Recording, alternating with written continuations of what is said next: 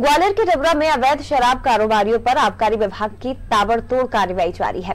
विभाग ने दूसरे दिन भी बड़ी कार्रवाई की। करहरिया थाना क्षेत्र के ग्राम दुबहा दुबही में कंजरों के डेरे में आबकारी विभाग और पुलिस बल ने दबिश देकर भारी मात्रा में अवैध शराब पकड़ी। करीब 6000 किलो गुलनहान मौके पर ही नष्ट किया गया। वहीं 300 लीटर हाथ भट्टी शराब भी जब्त की गई। जब्त और नष्ट सामग्री की कुल कीमत करीब 31 लाख रुपए आंकी गई है। इससे एक दिन पहले ग्राम चक मियापुर में कंजरों के डेरे से आबकारी विभाग ने 15 लाख की कच्ची शराब पकड़ी थी।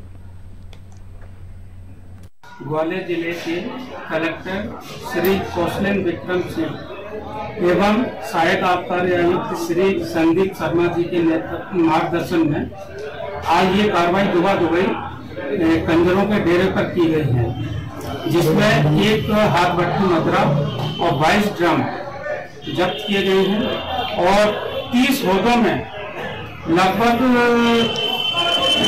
साठ हज़ार के जी गुड़ लहान एवं 300 लीटर हाथ, कच्ची हाथ भट्टी मदरा जब्त की गई है, जिसकी कुल अनुमानित कीमत जो है, इकतीस लाख रुपए है।